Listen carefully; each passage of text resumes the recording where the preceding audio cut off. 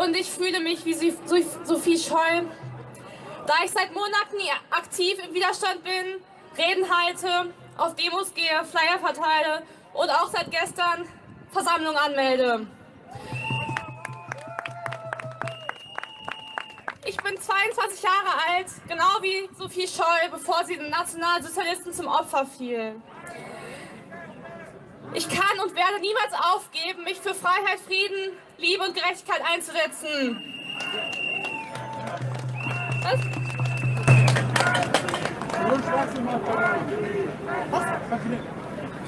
Lass sie doch in Ruhe reden.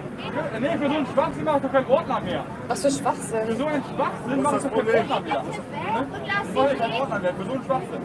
Also mal ernst, beim besten Willen. Was hat für ein Schwachsinn? Wer sowas hier erzählt, dann sagt er doch Verharmlosung vom Holocaust. Verharmlosung vom Holocaust.